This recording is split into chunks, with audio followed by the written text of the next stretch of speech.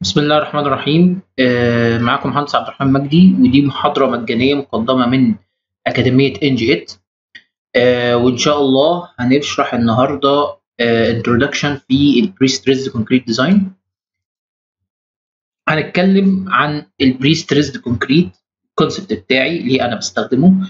آه، إيه هي فوائد ال pre-stressed concrete إيه هي ال components بتاعت ال system اللي بيكون ال pre-stressed concrete وهنتكلم في شوية topics ومفاهيم إحنا بنقابلها آه وإحنا شغالين في المجال دوت وهندي introduction سريعة في ال pre-stressed concrete. طيب ليه أنا بستخدم أو ليه الناس فكرت إن هي تستخدم ال pre-stressed concrete؟ في البداية خالص أنا عندي الخرسانة المسلحة العادية اللي هي ال reinforced concrete زي الكمرة اللي فوق على اليمين دي. الخرسانة بتبدأ بتتحمل ب load، ال load دوت اللي هو مثلا own load بتاعها dead load live load whatever بس بتتحمل ب load.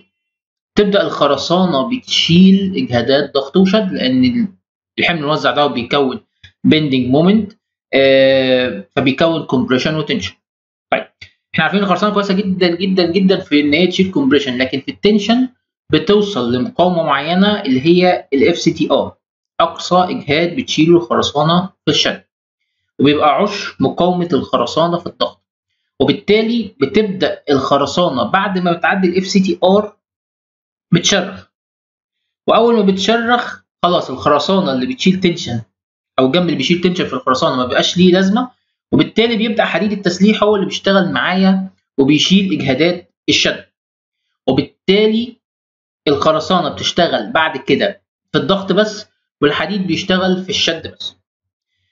وبالتالي ده بيخليني إن أنا أستخدم كفاءة الخرسانة في إن هي تشيل ضغط بشكل مش بكل كفاءتها، يعني إحنا بنتكلم في 90% من كفاءتها.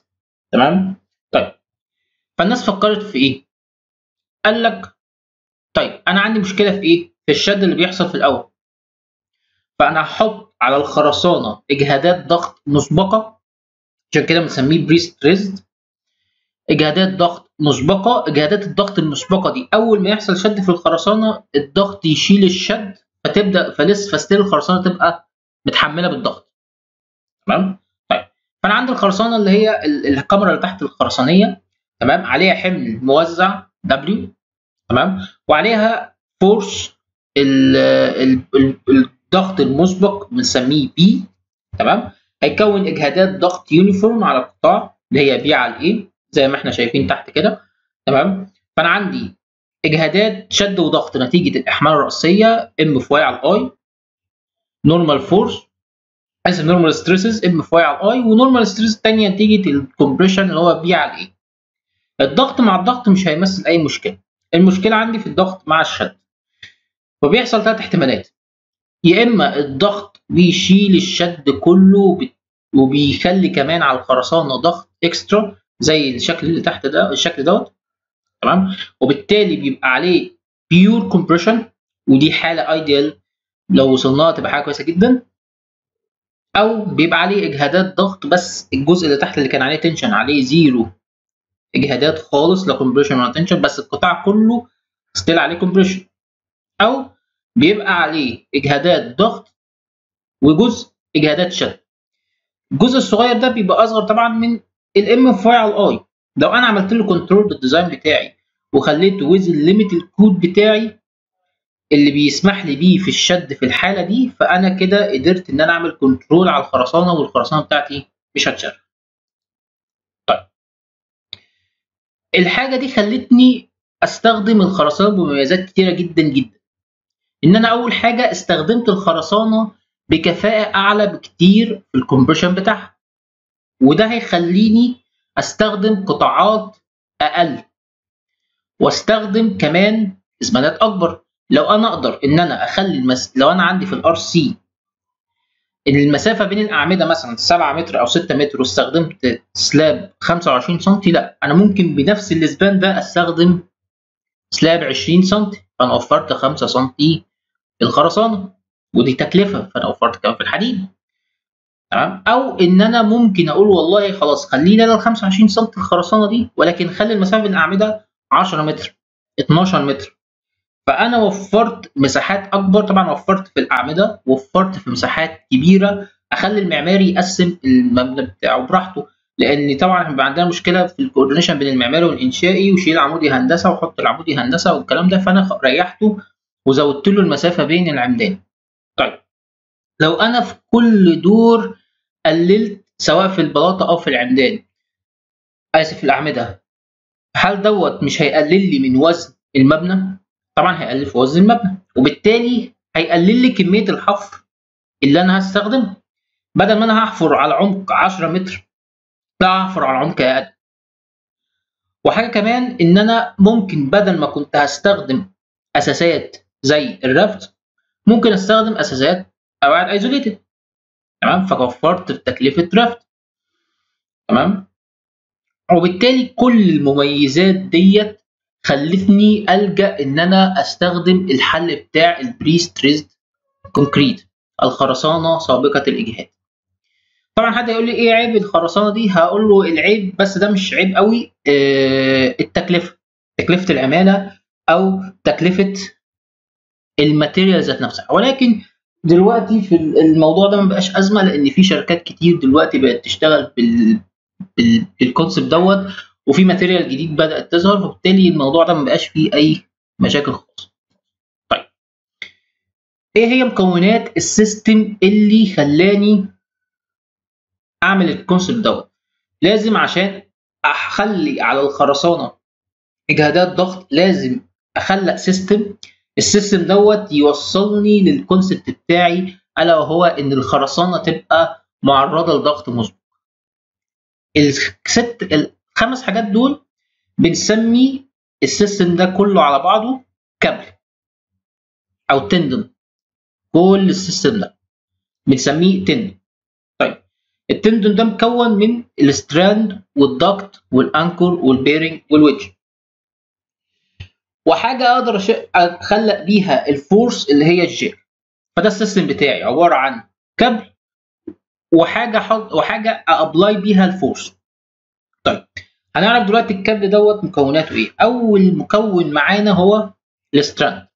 طيب إيه هو ال strand؟ ال strand هو حديد. الحديد الخاص المستخدم في ال prestressed concrete ال strand دوت عبارة عن حديد زي الشكل اللي تحت دوت. حديد بقطعه كده. هو عبارة عن سبع wireات مجدولين مع بعض. مجدول يعني حاجة كده زي الحبل ده الشكل بيطلع. يعني ما ما بجيبش سبع اسياخ حديد أو سبع wireات حديد واعمله أنا بالشكل ده مع نفسي. لا هو المصنع بيطلع لي الشكل ده. فدي حاجة مصنعة. أوكي؟ طيب. مساحة مقطع البتاع ده مساحة مقطع السيخ دوت طبعا علشان ده حديد. فالحديد في العادي لما أنا باجي بعمل طلبية طبعا بعمله بالطن وبعمله بمساحة الم... ب... بالقطر. قطر حديد 12 قطر حديد 16 10 طيب وأنا بتعامل مع ال strand وأنا بتعامل مع الحديد دوت بتعامل مع القطر إزاي وأنا عندي شكل غريب كده؟ بعمل زي دايرة. الدايرة دي بتمس ال wireات من بره تمام؟ آه لما بتمس ال wireات من بره بقيس القطر بتاعها بتسميه ال nominal diameter إيه؟ ده قطر بيعبر لي عن السيخ دوت. بس ده مش قطر السيخ. فاهمني؟ يعني ده ال nominal دي حاجة معبرة عن أقطار السيخ. تمام؟ طيب. الحديد دوت مرن جدا لدرجة إن هو ما بيجيش في أسياخ كده زي الحديد ذي النتوءات اللي إحنا بنستخدمها في الخرسانة المسلحه العادية. بيجي في شكل بكرات زي ما أنتم شايفين كده. العامل بيبدأ يحط البكره دي على حاجة اسمها فانوس بيشيل بيها البكره دي ويبدأ يفكها ويطلع طول ال strand اللي عايز يستخدمه ويقطعه. فهو حديد مرن ومساحة مقطعه إلى حد ما مش كبير. طيب. ال strand دوت خلاني أستفيد منه إزاي؟ أو إيه إيه ليه أنا بستخدم ال strand وما بستخدمش حديد التسليح العادي بتاعي؟ ما هو حديد التسليح العادي بتاعي موجود. ده stress strain curve آه لحديد التسليح في عندي ال 7 wire steel strand اللي أنا اتكلمت عنه وفي ال deformed reinforced bar اللي هو بيستخدم في البلاطات. أقصى إجهاد إحنا ممكن بنوصل له في الحديد بتاع آه الاف التمت يعني بتاع حديد التسليح ذو النتوءات 600 ميجا باسكال تمام؟ بينما أنا بقدر أوصل في ال 7 wire strand ل 1860 ميجا باسكال وده رقم محفوظ وثابت آه ما بيتغيرش. حديد ال 7 wire strand ال ultimate stress tensile stress بتاعه 1860 ميجا باسكال وبالتالي أنا الحديد دوت إجهاده ثلاث أضعاف تقريبا إجهاد حديد 400 600 وبالتالي أنا أقدر أخليه يتشد ويقدر يستحمل إجهادات عالية جدا. وبالتالي أقدر أحقق ال concept بتاع ال prestressed concrete وبالتالي أنا استخدمت حديد ال7 wire strand طيب ده technical data sheet لشركة ما في الخواص بتاع الحديد دوت. تمام؟ أهم حاجة إحنا نعرفها هنا أو إحنا ممكن ندي كده نمشي على الجدول ده واحدة واحدة. هو أول حاجة ال yield stress. إحنا بنست... ده ال yield stress okay؟ آه وعندك ال ultimate strength اللي هو 1860 إحنا ما بنستخدمش اللي هو 1725 و 1770 إحنا بنستخدم اللي هو 1860 تمام؟ طيب القطر النومينال دايمتر ودي أقطار محفوظة. إحنا عندنا أربع أقطار. 15 12.7 12.9 15.24 15.7 أو بالإنش 0.5 إنش 0.6 إنش. ال 0.5 إنش اللي هو 12.7 12.9 ال 0.6 15.7 و 15.24 فأنت ممكن تسمعها 0.5 0.6 ممكن تسمعها 12.7 15.24 تمام؟ المشهور قوي في الاستخدام ال 12.7 وال 15.24 ده اللي مستخدم أكتر في مصر ومستخدم أكتر في الخليج. تمام؟ ال 15.7 برضو بيستخدم في الخليج أكتر من مصر. ال 12.9 نادرا ما بتلاقيه بس موجود. تمام؟ فدي اقطار ثابتة بتاعة الحديد ده. 12.7 12.9 15.24 15.7 بستخدم أنهي قطر منهم على حسب السوق بتاعك اللي موجود في البلد اللي أنت عايش فيها. يعني لو في مصر هتلاقي 12.7 وال 15.24 تمام؟ فعلى حسب برضو حسب المشروع الاستشاري عايز منك انهي قطر تستخدمه أو على حسب المتاح. مثلا في ممكن تلاقي في السعودية مثلا 15.7 موجود فانت تستخدم 15.7 وهكذا. فاللي بيبقى حاكمك في اختيارك للأقطار اللي موجود في ال stock بتاعك. لو لقيت كله بيبقى على حسب المشروع إيه متطلباته. تمام؟ طيب. وزي ما في nominal diameter في cross section area تمام؟ ال 12.7 مساحته 98 و7 ال 15.24 140 15.7 150 وال 12.9 ب 100 فاحنا ممكن بنقربها شوية إن ال 0.5 مساحته تقريبا 100 ملم مربع وال 0.6 انش مساحته تقريبا 140 ملم مربع. تمام؟ طيب. ال weight ده بيبقى مساحة المتر الطولي آسف وزن المتر الطولي من الحديد ده. طب أنا بستخدمه في إيه؟ دي حاجة في التصميم أنا بستخدم بيها ال criteria ديت علشان أقدر أحدد فيها وزن اللي أنا محتاجه في التصميم. أنا لما باجي بصمم بحط بحط الحديد دوت بيبقى عندي في اللوحة أو في الموديل اللي أنا بصمم بيه بالمتر. طيب أنا عايز أعمل طلبية. الطلبية بتاعتي بالكيلو.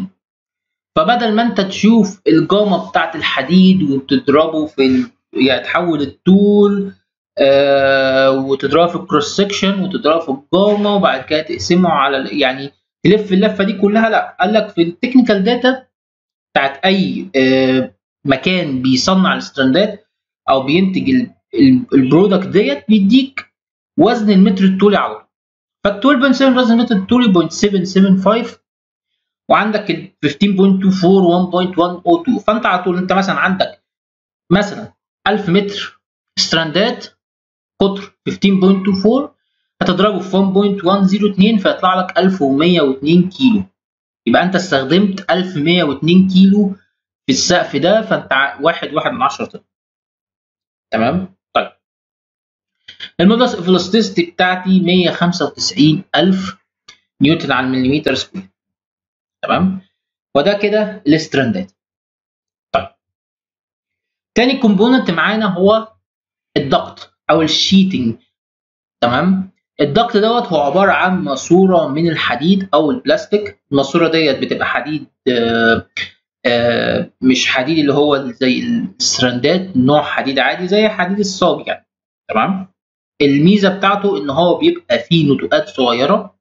النتوءات دي بتعمل bonding ما بين ال system بتاعي وما بين الخرسانة لما بتتصب وبالتالي بتخلي ال system بتاعي ناقل لل compression stress اللي أنا عايز أخليه على كل الخرسانة بتاعتي. تمام؟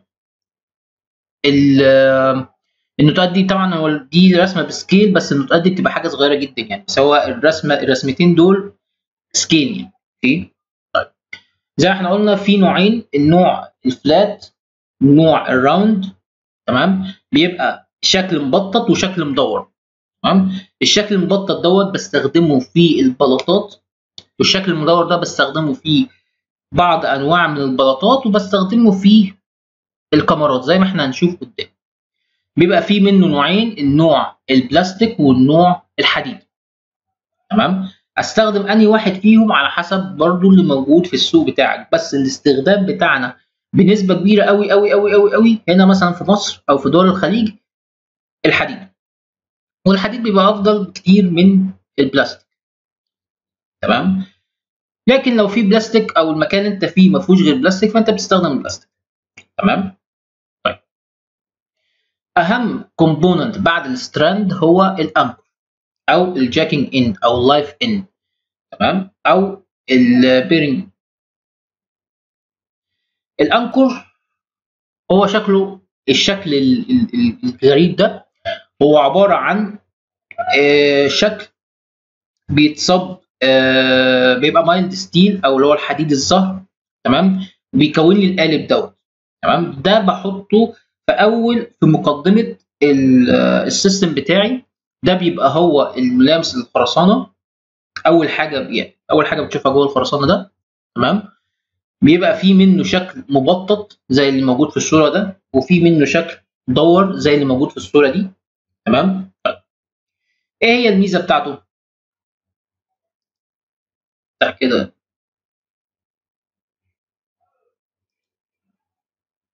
أنا لو عندي ده الطرف بتاع الخرسانه وده ال anchor بتاعي. وده قوة الضغط بتاعه ال prestress اللي أنا بعرضها للخرسانه تمام؟ فاحنا شفنا إن ال strand بيشيل 1800 ال ultimate بتاعه 1860 ميجا باسكال. تمام؟ وبالتالي ده stress لو أنا ضربته في مساحة الم... آه لو أنا ضربته في مساحة المقطع هيديني ال force. وبالتالي تخيل كم ال force اللي بتتعرض للخرسانة في المنطقة دي. لو الخرسانة مش محمية في الحتة دي فالخرسانة بيحصل لها damage بتتكسر. لأن دي force كبيرة جدا. تمام؟ وبالتالي علشان أحمي الخرسانة من إجهادات الضغط دي أو بمعنى أدق احمي ال cover خرساني من ال damage وال force دي تتوزع بشكل أفضل فبستخدم ال cast دوت أو ال anchor دوت. ال anchor ده بيبقى فيه زي الريش دي تمام؟ الريش دي بتعمل لي resistance للخرسانة بتاعتي وبالتالي لما الخرسانة بتاعتي تتعرض لقوة ضغط بتبدأ الريش دي ت resist معايا وبالتالي الخرسانة بتاعتي ما يحصلهاش حاجة. في نفس الوقت بيبقى فيه هنا حديد بنحطه على عند ال cast كده بنسميه anti-bursting reinforcement أو ال end block reinforcement وده يعني محتاج محاضرة لوحده يعني دي topic كبير قوي. بس التسليح دوت مع ال anchor دوت ما بيخليش الخرسانة تتعرض ل damage نتيجة ال compression stress العالية اللي أنا بعرضها ليها وبالتالي ال compression stress تمشي جوه الخرسانة من غير ما تعمل damage فدي الأهمية بتاعة ال anchor إن هي ما بتعملش damage للخرسانة بتعمل مقاومة عالية لل bearing بتاع الخرسانة عند الشد وبالتالي حاجة تانية هنستنتجها من اللي أنا قلته إن المكان اللي ألاقي فيه الشكل ده يبقى هو ده المكان اللي أنا هشد فيه ال strandات وهو ده المكان اللي عليه قوه الضغط. فلو لقيت cast دوت أو ال anchor ده وال anchor اللي جنبه وال anchor اللي جنبه فأنا عارف إن الحتت دي هي اللي هعرضها لل stress بتاع الضغط. طيب. عندنا نوعين طبعا في flat duct و round duct طبعا هيبقى فيه flat anchor و round anchor زي ما إحنا قلنا. ال flat anchor بستخدمه في البلاطات. علشان التخانة بتاعت البلاطات صغيرة وبالتالي أنا بستخدم ال flat. المبطط الطول دوت بيبقى طول صغير ممكن أحطه في البلاطه ال capacity بتاع ال flat دوت بيبقى من 2 strand لغاية 5 strand. أول ما أعدي دوت بستخدم ال round. ال round برضو بيعمل نفس الحاجة اللي بيعملها ال flat. هو نفس ال concept نفس كل حاجة هو بس الشكل بتاعه متغير. ساعات بيبقى جايب الشكل ده ساعات بيبقى جايب نفس الشكل بتاع ال flat بس round تمام؟ ده بيبقى فيه strandات كتير جدا أقدر أحط strandات 3 strand آه ممكن أحط 3 و5 في على حسب يعني المنتج. في بقى بيستخدم فيه 7 strand و9 و12 و15 و18 يعني ال capacity بتاعي في ال strandات بيبقى عالي جدا. تمام؟ طيب. ال anchors ديت ليها تصنيف تاني. في تصنيف اسمه ال multi strand anchor وال mono strand anchor. طيب. ال mono strand anchor ده بستخدمه في البلاطات as general تمام؟ والبلاطات as general بستخدم فيه نوعين. ال flat اللي إحنا شفناه في الأول ده تمام؟ اللي أنا بقدر أحط فيه من 2 لخمس strandات وفي اللي هو ده. ده عبارة عن cast معمول لبلاطات معينة صغيرة من 16 مللي ل 18 مللي وبرده من الامانه العلميه لو إحنا شفنا بلاطات 16 سم أو 18 سم مش مفضل إن إحنا نعملها prestress حتى لو إحنا نقدر نعملها بال anchors دي فاحنا ما بنعملهاش لأسباب كتير قوي في ال design بتمنعنا إن إحنا نعمل البلاطات دي بتبقى بلاطات ضعيفة جدا. تمام؟ ولكن لو لو يعني دعت الحاجة إن إحنا نعمل بلاطات دي prestress فبنستخدم ال anchor ده. ال anchor دوت capacity بتاعته هو واحد strand. يعني أنا أقدر أحط هنا strand واحد بس. تمام؟ طيب. فده اللي هو بيبقى بنسميه ال mono anchor يعني بنسمي اللي هو فيه الواحد strand mono anchor وبنسمي ال castات أو ال anchorات اللي إحنا بنحط اللي إحنا بنحطها في البلاطات بنسميها ال mono strand system تمام؟ هو الأنكر هو الكاست لو لقيتوني بقول كاست هو الأنكر والأنكر هو الكاست تمام؟ طيب.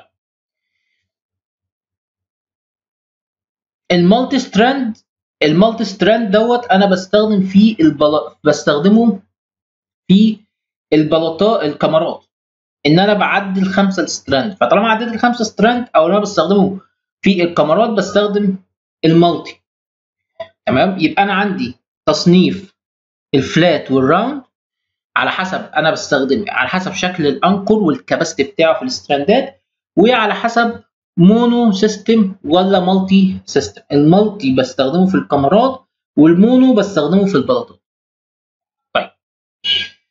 الشكل نرجع تاني للتسمية اللي إحنا كنا مسمين فيها ال anchor. حاجة اسمها ال jacking end أو ال live end إحنا قلنا إن إحنا لو شفنا في السقف وإحنا بننفذ ال cast ده موجود قدامي فأنا عارف إن المكان ده هو المكان اللي فيه ال force. فالمكان اللي فيه ال force بنسميه jacking end أو ال live end. طيب فطالما في live end ففي مكان تاني مش هقدر أشد فيه الكابلات اللي إحنا بنسميه ال dead end.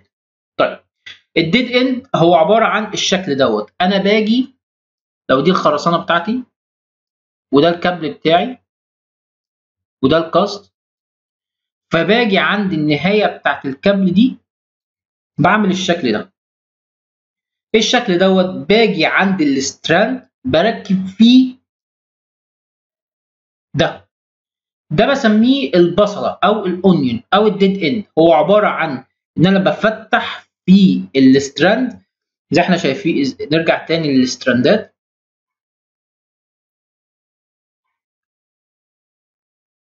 شايفين الشكل دوت؟ بحط في بحط في الحتة دي مكنة المكنة دي بتخش هنا وبتبدأ تفتح لي تلف ال strand وبتعمل الشكل اللي هو بتاع البصله ده. تبدأ تفتح في ال strand ال strand وبتعمل الشكل دوت. طب الشكل دوت إيه الفايدة بتاعته؟ لما باجي بصب الخرسانة الخرسانة بتبدأ تخش في الحتت دي تمام؟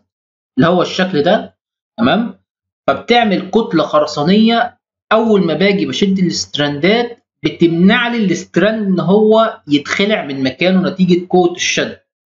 تمام؟ فالكتلة الخرسانيه دي بتمنع لي ال strand إن هو يخرج من ال system لأن لو خرج من ال system فأنت كده ما حققتش force فال force دي ملهاش لازمة فأنت ما حققتش concept ال pre-stress تمام؟ وبالتالي الكابل بعمل له حاجة اسمها live end وحاجة اسمها ال dead end اللي هي البصلة أو ال onion طيب باجي بعد كده في حاجة إحنا خدنا بالها بالنا منها عند ال anchor اللي هو ال bearing plate أو ال wedge plate وده ميزته ما هو إلا إن أنا بركب فيه القطعة اللي هي اسمها ال wedge وطبعا في منه flat دوت في البلاطات وال round اللي هو فيه الكاميرات. طيب إيه هو ال wedge بقى؟ ال wedge ده component مهم جدا جدا بيساعد في نقل ال force. ليه؟ هو عبارة عن شكل مخروطي ما بيبقاش زي ال cast كده حاجة بتتصب على بعضها لأ هي بتبقى عبارة عن قطعتين أو ثلاث قطع. هو بيبقى ده الشكل اللي موجود دوت عبارة عن آه قطعتين ممكن يبقى فيه ثلاث قطع زي ال wedge ده ادي قطعه اتنين ثلاثة أو قطعتين زي دول وفي ما بينهم زي آه ring كده بيبقى حديد أو آه كاوتش. الميزة بتاعته في إيه؟ نفس الخرسانة بتاعتي. تمام؟ وادي ال strand طالع من الخرسانة أهي. تمام؟ طيب.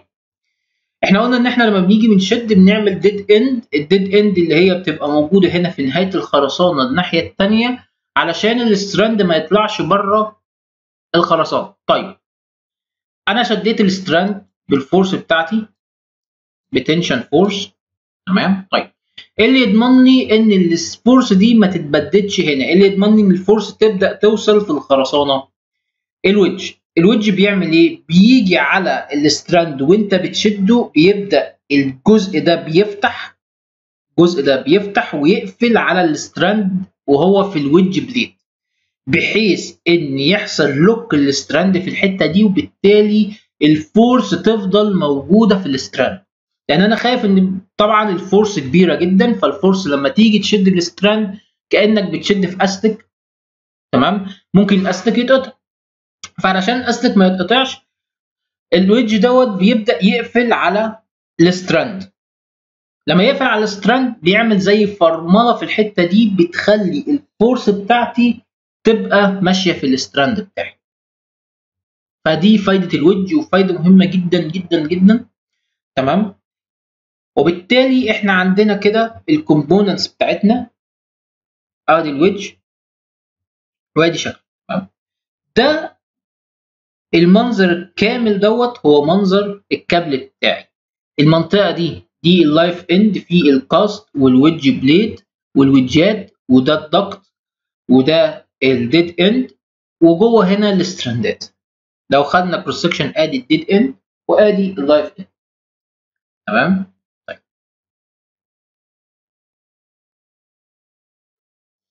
فكل ال components الخمسة اللي إحنا حكينا عنها دول ده بنسميه الكابل وده ال system بتاعي اللي أنا بعمل له force بال jack علشان أعمل ال compression تمام؟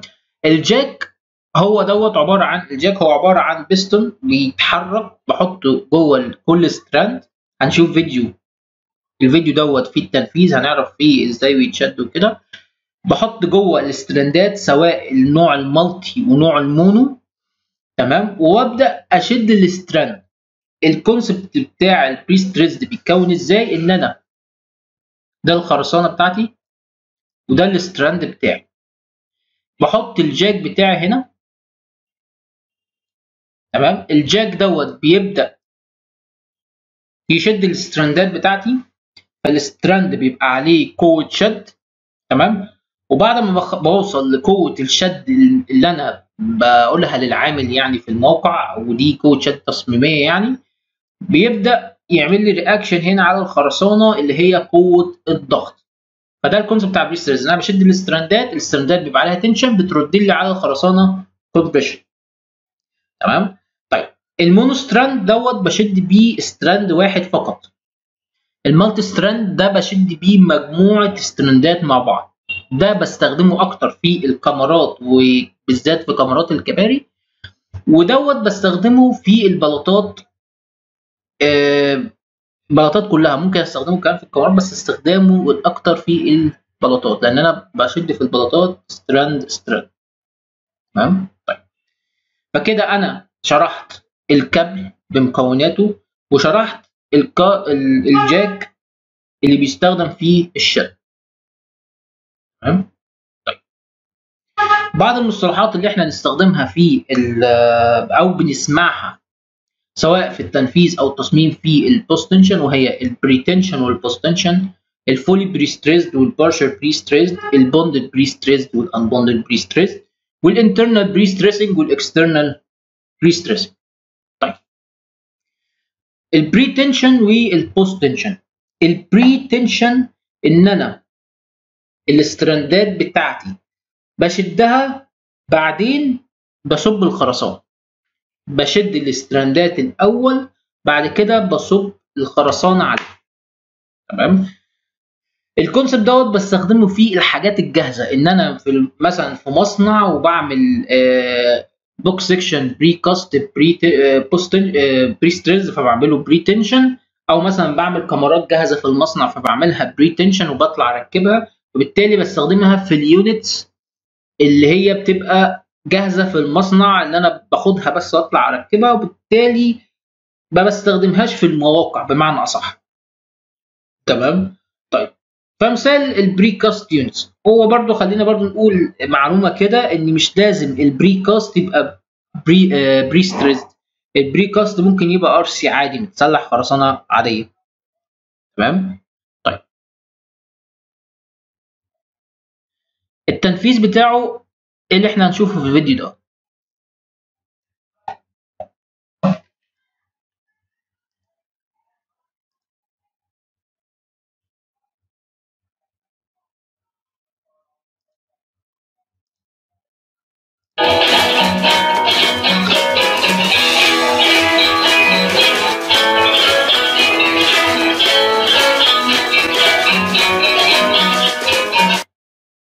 ده عبارة عن آه زي شدة بتتعمل بنسميه ده ده اللي اسمه bed تمام؟ ده اللي أنا ببدأ أحط آه أنفذ عليه ال unit بتاعتي.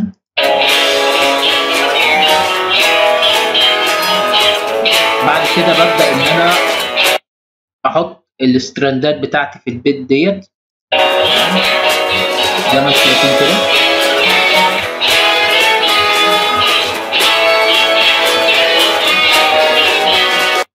بعد ما حط ال strand ات بتاعتي قفل عليها بال anchor قفل عليها بالويج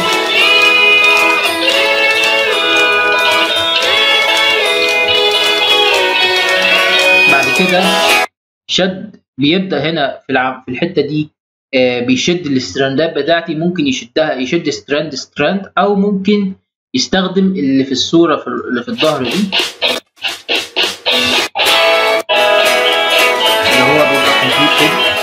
دي بتبقى حاجة زي ال multi anchor كده ال multi anchor كده بيستخدم آه إن هو يشد strand ات مع بعض.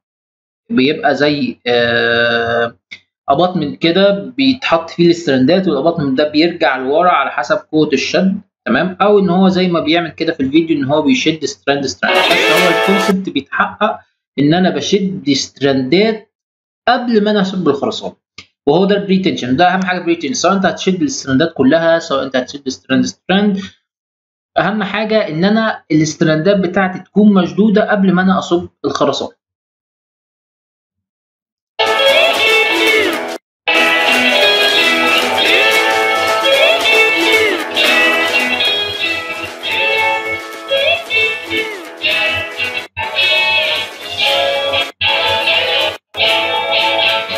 بعد ما خلص بيبدأ إن هو يصب الخرسانة بتاعتي ويستناها إن هي تتصلب بعد كده بيبدأ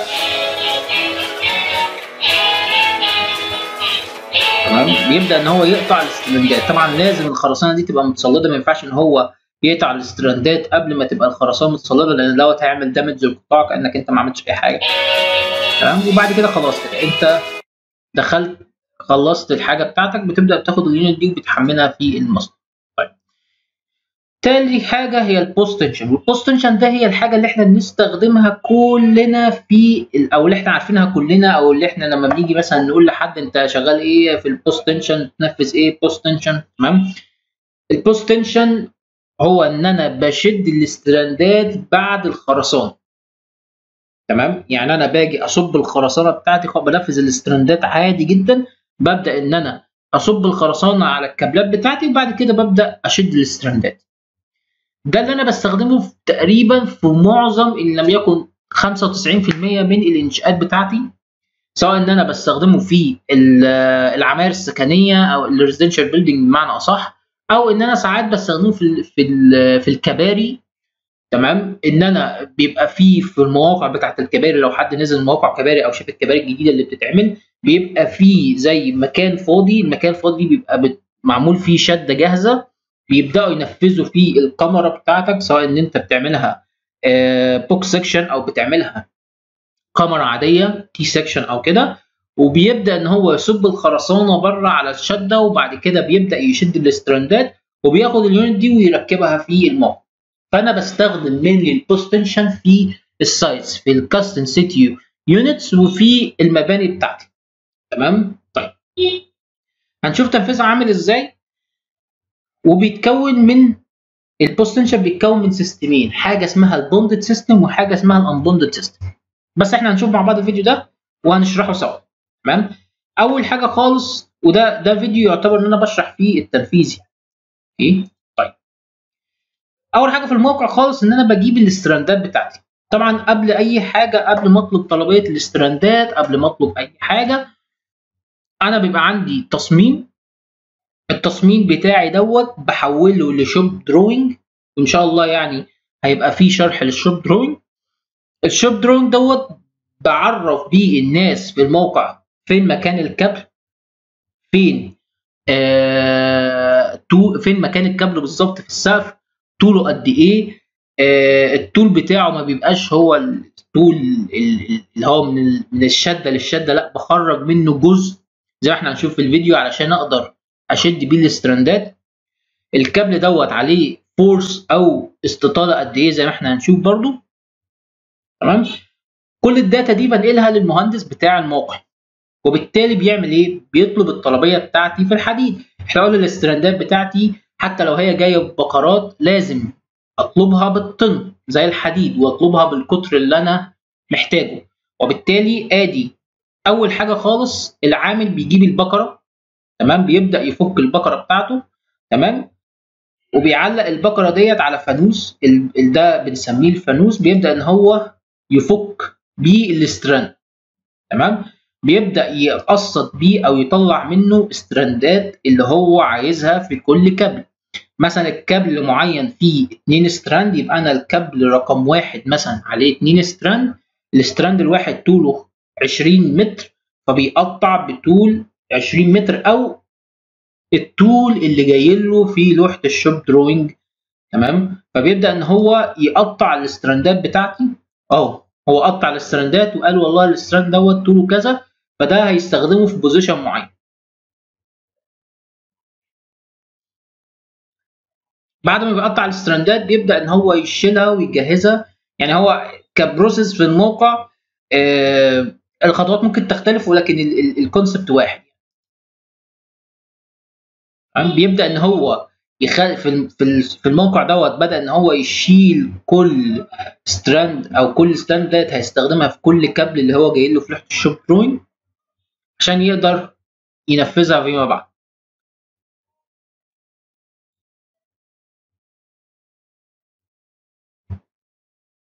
طيب بيبدأ إن هو يعمل ال dead end ال dead end ممكن يعمله في النهاية بتاعت ال strand عادي أو إن هو بيجيب حاجات منفصلة ويركبها على ال strand. الاثنين واحد دي المكنة اللي إحنا قلنا عليها إن هي بتعمل ال dead end نرجع كده ورا شوية.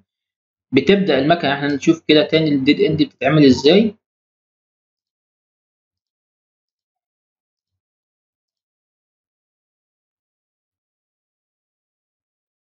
زي ما شايفين المكنة بتبدأ بتتحط في النهاية بتاعت ال strand وبتبدأ تفتح في ال strand عشان تكون الشكل بتاع ال onion أو البصلة. تمام؟ وبعد كده بيروح فاكك ال strand وده كده يبقى ال dead end اللي أنا هحطه على كل strand. ده ال dead end. طبعا بيقيس طوله لأن هو المفروض إن كل منتج أو كل strand على حسب المنتج اللي أنا بشتغل بيه بيبقى ليه أطوال معينة. تمام؟ بيبدأ إن هو الخطوة دي بنسميها خطوة العلام بيحدد مكان الكابل بتاعه بناء على ال shop drawing اللي حضرتك بعته للموقع بيبقى فيه أبعاد أبعاد بتنسب بيها الكابلات. فهو في الموقع بيبدأ يعلم مكانه في الشده الخشب سواء هو بيعلم زي ما موجود كده بسبراي أو بيعلم بخيط علام ايا كان التعليم بتاعه بيبقى بأنهي concept بس إن هو بيحدد مكان الكابل بتاعه. في نفس الوقت هو بيحدد مكان القص بتاعه هنا يعني في الموقع.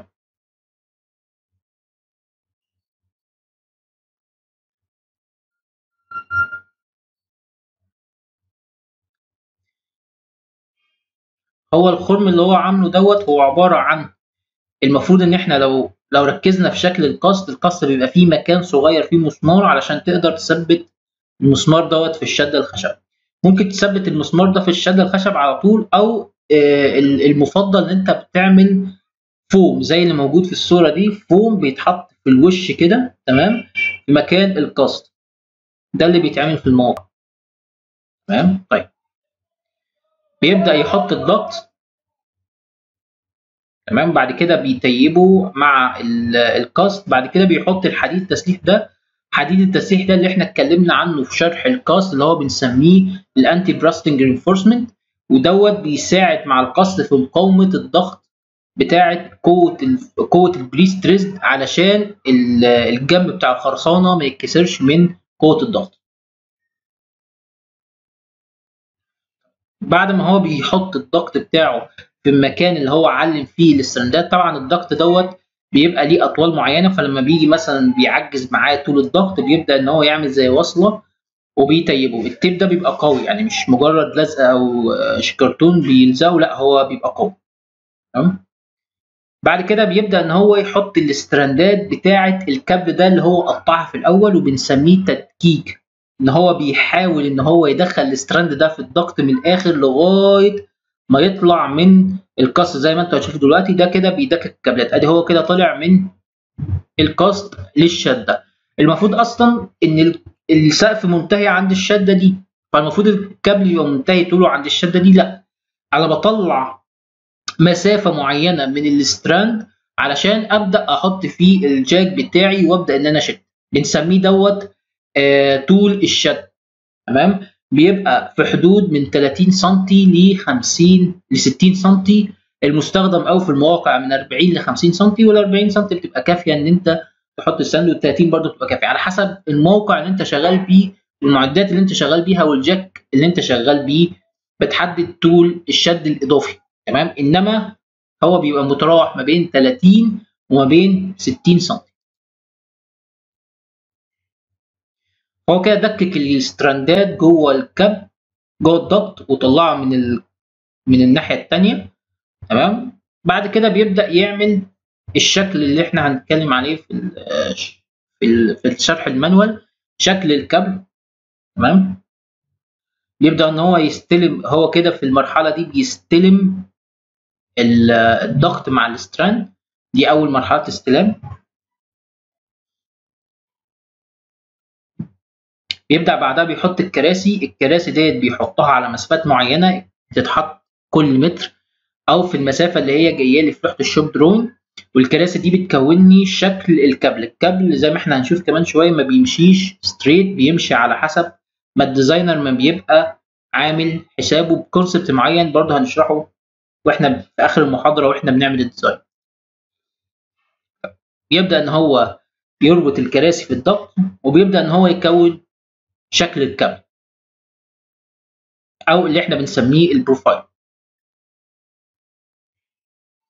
بعد كده بيبدأ إن هو يحط المواسير دي المواسير ديت بيحطها على كل مسافة. طبعا هو بيحطها في ال cast لأن إحنا زي ما إحنا شفنا في شكل ال cast round سواء flat بيبقى فيه فتحة. الفتحة دي بتسميها فتحة ال grouting ال grout هي مادة هنشرح في ال bonded وال unbonded ليه بنصب ال grout وايه هو ال grout بس عشان تصبه بيبقى بيبدأ من عند ال cast بتاعي بيحط زي خرطوم ده خرطوم عادي بلاستيك وبيصب هنا ال grout تمام؟ وبيحط زي ما إحنا هنشوف كده كل مسافة ال grout دوت. آسف بيحط كل مسافة الخرطوم دوت.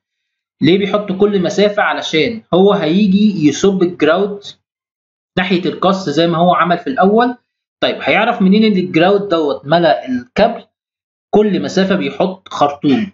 أول ما بيلاقي ال grout بدأ يطلع من الخرطوم فهو ال grout ملا الحتة دي فبيبدأ يقطع الخرطوم لغاية ما بيوصل لنهاية الكابل زي ما إحنا هنشوف دلوقتي. كده هو جهز السقف بتاعه حط التسليح حط التسليح حط الكابلات حط الكراسي وكون شكل ال profile. شكل الكابل بنسميه profile. آه كون ال profile بتاعه هيبدأ بعد كده إن هو يصب الخرسانة. المفروض إن إحنا بعد ما نصب بعد ما نخلص الكابلات المفروض إن إحنا بنحط الحديد العلوي حديد ال punching الكلام ده.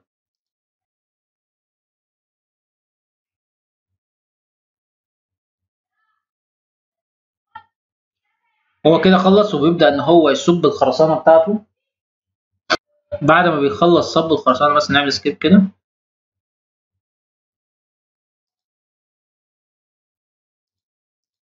المفروض إن هو بيستنى الخرسانة بتاعته آه تتصلب تمام؟ وبيبدأ إن هو ياخد عينات من الخرسانة آه قبل طبعا ما يصب علشان يشوف إذا كانت هي تحقق المقاومة ولا لأ عادي زي خرسانة ال RC وبعد ما بيبدأ ما بيصب الخرسانة آه بيستنى لما بتتصلب وبتبدأ إن هي تاخد جزء من المقاومة بتاعتها زي ما إحنا هنشوف.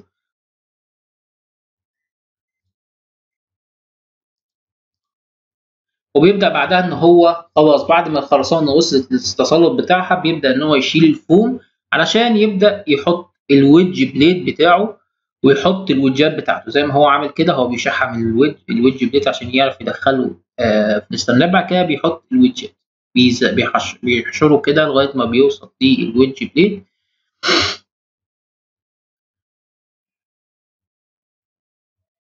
بعد كده بيعلم حتة صغيرة كده ليه بيعمل الحركة دي.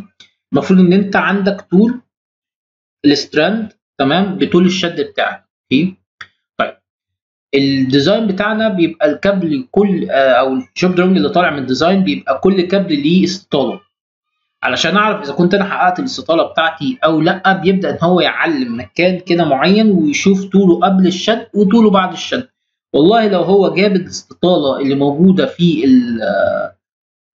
في ال design بتاعي خلاص يبقى هو كده الكابل ده محقق ال force بتاعي لو هو مش جايب الاستطاله بتاعتي بيبدا إن هو يشوف ال limit بتاعه. المفروض إن أنا بحقق استطالة أزيد أو أقل plus و minus 7% أو ده كود أمريكي أو plus 10% و minus 5% في مواقع بتمشيها plus و minus 10% تمام؟ وبالتالي انت بتقدر ان انت تعمل control على ال elongation بالحاجة اللي هو بيعملها دي. طيب هو بيبدأ إن هو يقيس الطول دي عملية الشد. تمام؟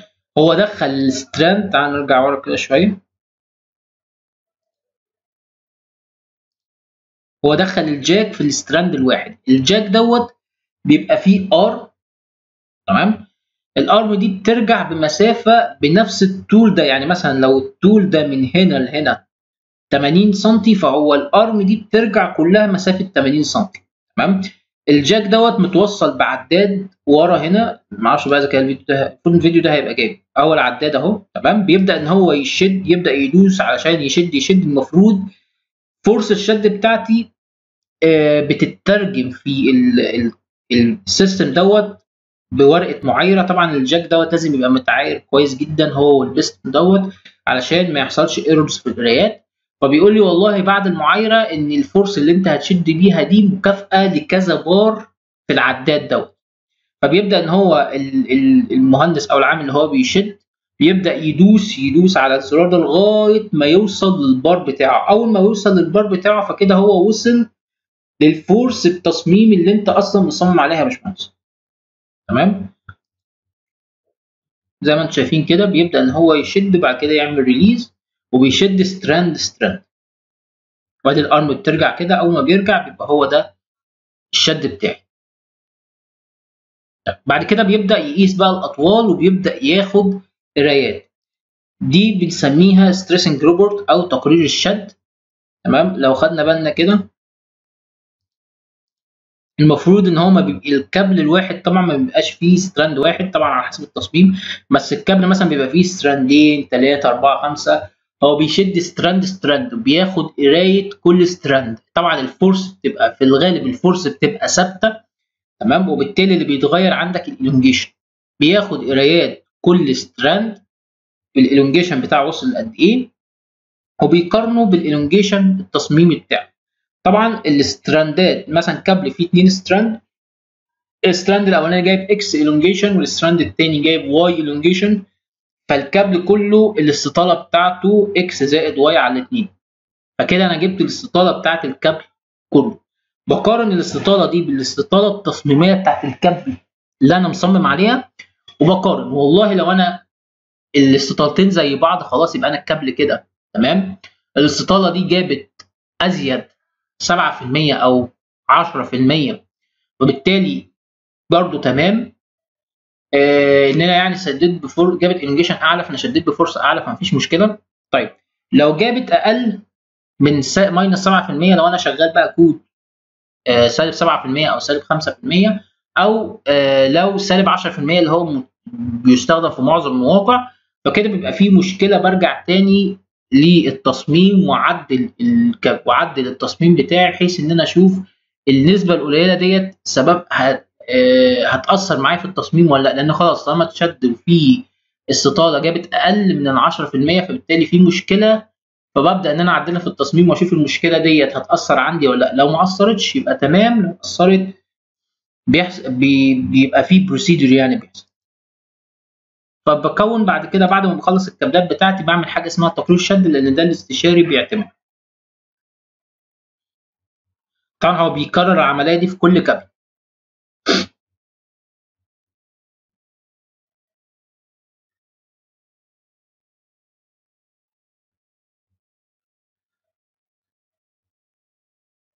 بعد ما بيخلص خالص بيبدأ إن هو يقطع بقى الطول ده هو مش محتاجه خلاص بيبدأ يقطعه وبعد كده بيبدأ يصب الحتة الصغيرة دي بخرسانة ويقفلها فخلاص كده يبقى أنت عملت ال pre-stressing تمام؟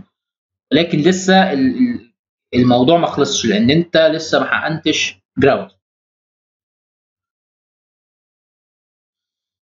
تمام؟ آدي ال grout هو عبارة عن مادة أسمنتية تمام؟ بيبقى ليها مواصفات في الكود وليها نسب الخلطة لازم إن أنت تحققها زي ما هي موجودة في الكود ولازم تبقى المادة دي معتمدة من الاستشاري ومحققه مواصفات الكود المصري أو أي كود أنت بتشتغل عليه بالخلطة بتاعتك. هي بتتخلط زي بتتخلط زي الخلطة الخرسانية كده بالظبط تمام؟ بعد كده بيبدأ ياخد المادة دي وبيبدأ إن هو يصبها في الحتت اللي هو طلع منها الخرطوم الخرساني. الخرطوم بتاعي آسف الخرطوم بتاعي اللي هو البلاستيك. أو بيبدأ هو بيصب من ناحية لو إحنا ركزنا مع بعض هو بيبدأ الصب بتاعه من ال cast بعد كده بيبدأ إن هو يطلع ال grout من حتة يبقى الحتة دي اتملت خرسانة آه آسف اتملت grout بعد كده بيبدأ يقفل الخرطوم. آدي الحتة دي كده اتملت يعني أنا لما آجي ألاقي إن ال grout ده بيطلع من الحتة دي فده معناه إن الحتة الكابل ده اتملى جوه خرسانة فبيبدأ إن هو يقفل الخرطوم بتاعه دوت. تمام؟ بعد كده خلاص كده يبقى هو نفذ المبنى بتاعه. طيب. إيه بقى قصة ال grout دوت؟ إحنا قلنا قبل الفيديو دوت إن في حاجة اسمها ال bonded system وحاجة اسمها ال unbonded system. ال bonded system اللي أنا بستخدمه في الغالب في مصر هو اللي إحنا شرحناه في الفيديو دوت. إن أنا بعد ما بصب بعد ما اخلص تنفيذ الكابل بتاعي بصب ال grout فايدة ال grout دوت إن هو بيحمي لي ال strand بتاعي إن هو يصدي. وفي نفس الوقت بيخلي لي ال system بتاعي كله شغال حاجة واحدة لأن ال strand دوت ال grout ده حاجة خرسانة مادة خرسانيه مادة أسمنتية فبتتصلد فلما بتتصلد بيمسك بيخلي ال system كله حاجة واحدة.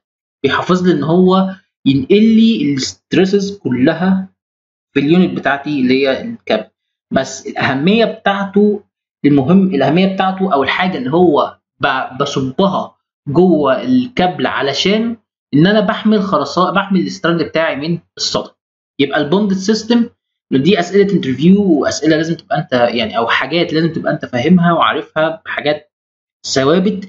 ال bonded system يعني بيحصل grouting تمام؟ بيحصل grouting وفي نفس الوقت بيبقى الشكل اللي إحنا آه شرحناه في الفيديو اللي فات دوت. وال grout ده ميزته إن أنا بحافظ على الخرسانة من الصدى بحافظ على ال strand من الصدى زي ال duct ال duct بيحافظ لي برضو على ال strand من الصدى بس ال duct وأنا بحافظ على ال strand من الصدى هو ال duct still فيه هواء والهواء بيعمل صدى لل strandات. تمام؟ أي نعم ال duct دوت بيعمل لي bonding ما بين ال system وما بين الخرسانة علشان لما يجي ينقل ال force يتنقل ك unit كاملة للخرسانة ولكن ال ال الهدف من ال duct برضه حماية ال strand من الصدى ولكن هو لوحده مش كفاية لازم إن أنا أصب grout جوه ال duct علشان برضه يعمل حماية للخر... لل strand من الصدى. طيب ده بنسميه ال bonded system ده اللي إحنا بنستخدمه في مصر والخليج آه في الإنشاء بتاع ال PT في العادي خالص. تمام ده اللي هو ال most common. طيب ال unbonded برضه بنستخدمه في مصر بس في scale ضيق جدا اللي هو لا أنا مش هستخدم grout. تمام؟ أنا هاجي على كل strand أبدأ إن أنا أحط فيه مادة شمعية بشحم ال strand بمعنى أصح وبعد كده بحط ال duct بتاعي سواء ال duct ده بيبقى round سواء إن هو بيبقى بلاستيك سواء إن هو بيبقى حديد زي ما إحنا شرحنا كده بيبقى كل strand فيه duct على قده وبيبقى ال strand بتاعي متشحم.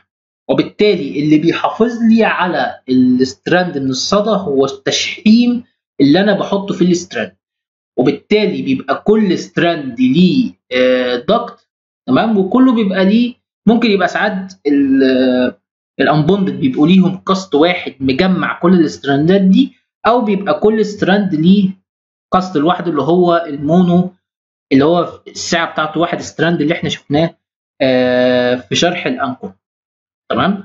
يبقى أنا عندي الفرق بين ال bonded system وال unbonded system إن ال bonded system بعمل فيه grouting وال unbonded system ما بعملش فيه grouting ده بشكل مختصر جدا جدا. ال fully prestressed وال partial prestressed طيب. ال fully prestressed معناه إن أنا ما بسمحش إن أنا ألاقي عندي cracks في الخرسانة. يعني أنا بعمل التصميم بتاع الخرساني آه إن هو ما يبقاش cracked section ودي criteria التصميم يعني ال fully prestressed وال partial prestressed دي criteria في التصميم. فأنا fully prestressed يعني أنا ما بسمحش بوجود شروخ في الخرسانة. وحاجة كمان إن أنا بخلي الكابلات بتاعتي هي اللي بتشيل ال flexure بتاعي وبالتالي الكابلات يعتبر بالنسبة لي هو الحديد اللي بتاع ال RC تمام؟ فما بستخدمش حديد تسليح في ال fully prestressed إلا لحاجات معينة اللي هي حاجات serviceability بستخدم الحديد في في حاجة اسمها ال pre-compression ودي criteria التصميم هنشرحها في محاضرات التصميم. بستخدم الحديد في ال deflection بستخدم حديد ال minimum بتاع الكود المصري. يعني الكود المصري هو مديني حديد minimum لازم أحطه لازم أحطه. تمام؟ إنما الحديد ده ما بيشيلش في ال flexure الحديد دوت ممكن يساهم بنسبة صغيرة جدا في إن هو يشيل في ال flexure لكن 99% من ال stresses بتتشال بالكابلات في ال fully prestressed. وده اللي إحنا بنستخدمه ك criteria كود مصري والكود الأمريكي. إن القطاع بتاعي مش مشرخ. uncracked section فبستخدم القطاع كله بيبقى هو ال uncracked يعني بستخدم ال I gross بتاعي أو ال gross area بتاعتي. تمام؟ ال partial prestressed إن الخرسانة بتاعتي بعملها prestress ومشرخه تمام؟ يعني مشرخة يعني إيه؟ يعني أنا هحط حديد تسليح الكابلات بتاعتي مش هي اللي هتشيل ال stresses لوحدها هتبقى كابلات وحديد تسليح ودي ال criteria اللي أنا بستخدمها في ال Euro code إن أنا الخرسانة بتاعتي بتبقى مشرخة. تمام؟ الكود المصري بتاعنا بنشتغل ب ال fully prestressed بنشتغل بالحالة ب اللي هي ال uncracked state تمام؟ طيب. في عندنا حالة سبق الإجهاد التام وعندنا حالة ال uncracked والحالة ال partial والحالة ال transition ودي بستخدمها على حسب ظروف تعرض المنشأ بتاعي.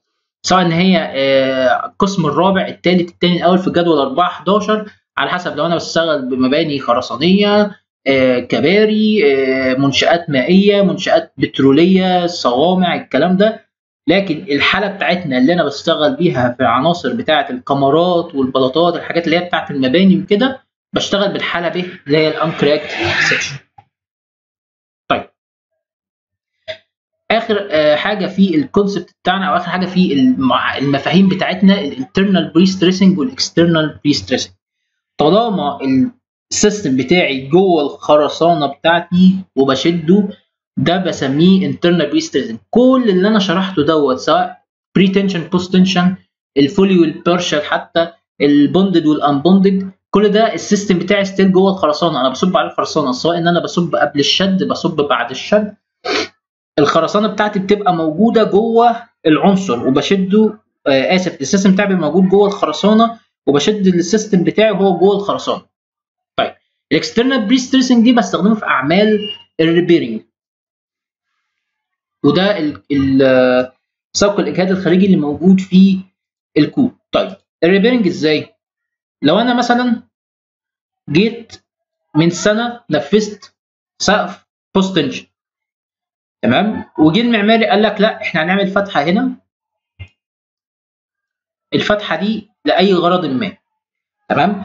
جيت أنت كمهندس بتراجع التصميم بتاعك وحطيت الفتحة في موديل التصميم بتاعك لقيت إن في كابلات معدية في الحتة دي؟ ولازم تقطع الكابلات دي. طيب المفروض إن أنا لما أجي أقطع الكابلات ديت طبعا لو أنا قطعت الكابل فخلاص ال force بتاعتي ضاعت وبالتالي أنا محتاج إن أنا أعيد تاني الشد بتاع الكابلات. وبالتالي بطريقة ما بشد الاستراندات بتاعتي بحاجة اسمها ال external prestressing إن أنا باجي بزرع strand بشكل معين أو أنا بعمل حاجة معينة بقدر بيها إن أنا أمد ال strand بتاعي وأشده وال strand بره ال system يعني ال strand بتاعي بره ال system وبالتالي طالما أنا شديت بره ال system بتاعي خلاص ال system بتاع.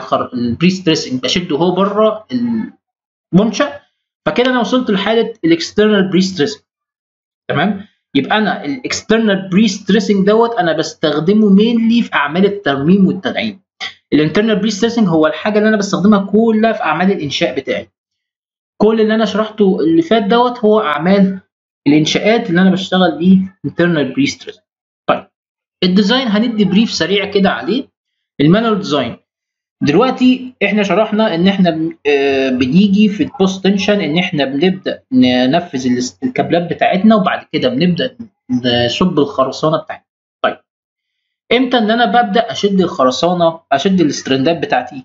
لما الخرسانة بتوصل لحاجة اسمها الاف سي يو اي الاف سي يو اي اللي هو concrete compressive stress في المرحلة ال initial فأول مرحلة أنا باجي إن أنا بتعرض لها في التصميم بتاعي ال initial stage الخرسانة بتاعتي واصلة ل 75% من ال Fcu بتاعتها. والكود بيقول لي إن ال Fcu بتاعتي لازم بشرط ال Fcu بتاعتي تبقى أكبر من ال 30 ميجا باسكال تمام؟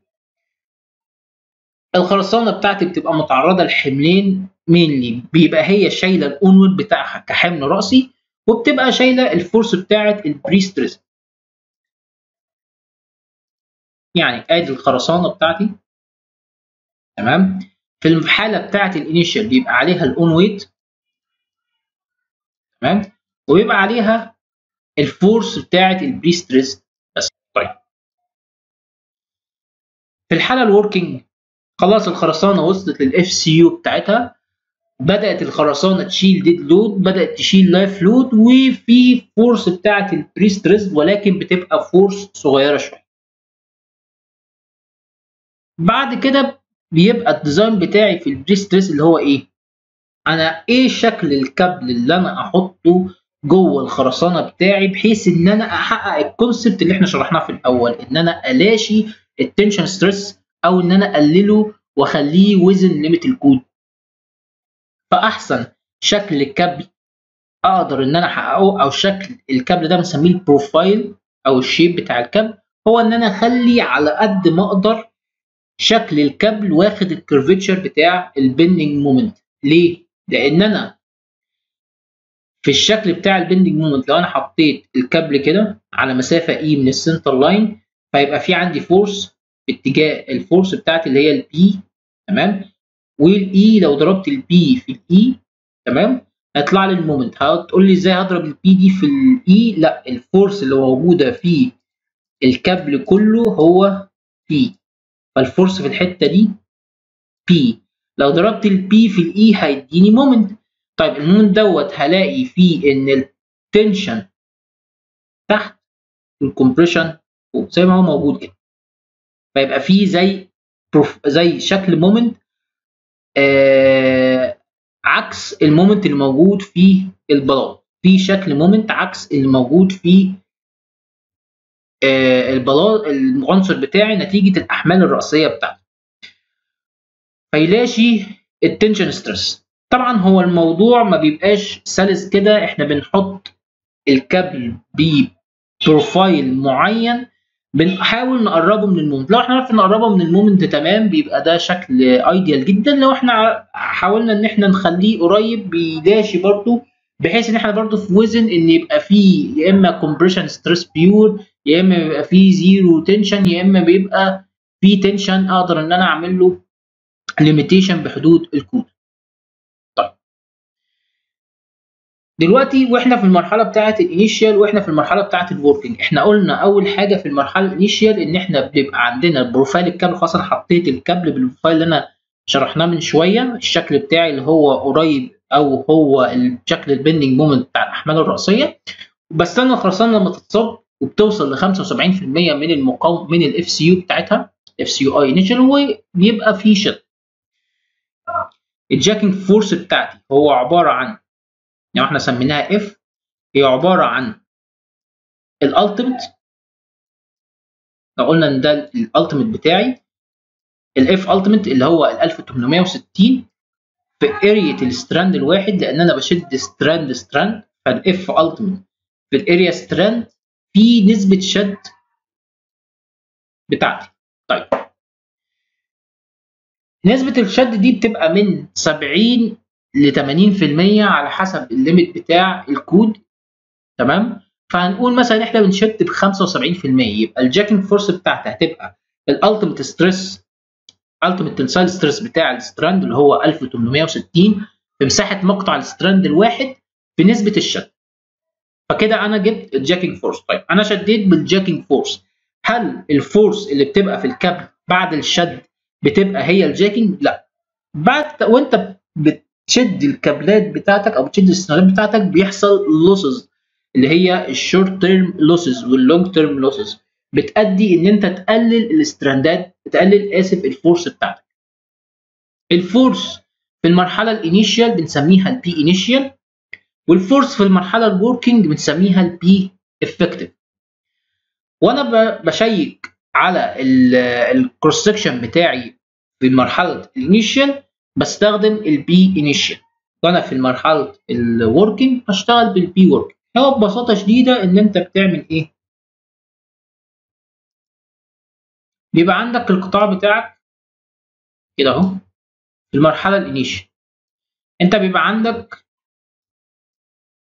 شكل profile مطلع لك moment prestress وعندك load رأسي اللي هو دبليو وعندك هنا بي وعندك هنا بي طيب.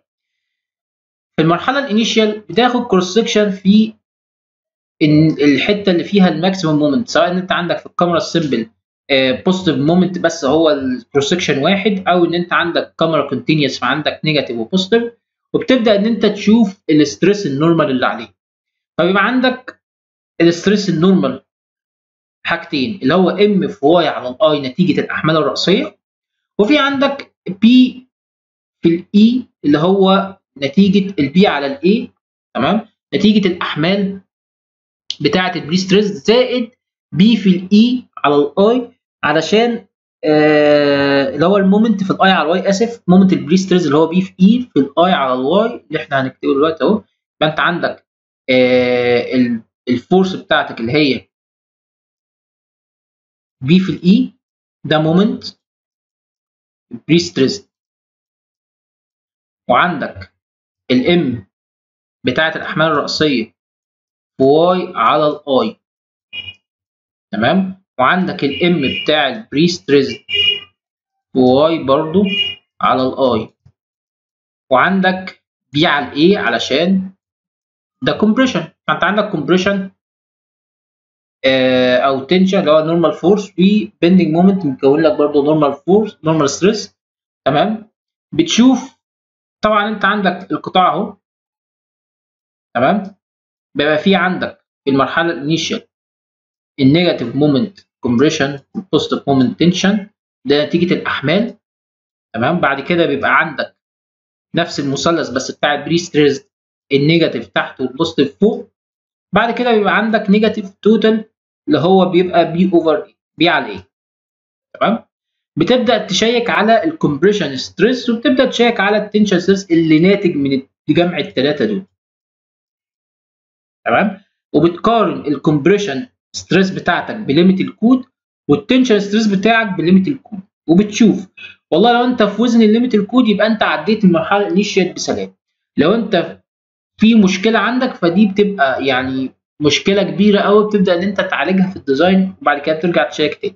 سواء إن أنت بتعلي ال e أو بتوطي ال e بتظبط شكل ال profile بحيث إن أنت ترجع تاني تـ check وترجع تاني تخلي ال stress بتاعك within limit الكود بتعمل نفس الحركة دي بس في ال work بس ال P اللي عندك دي ما بتبقاش ال initial بتبقى ال effective وبالتالي بتبدأ تقول ال P effective في ال e بتاعتك.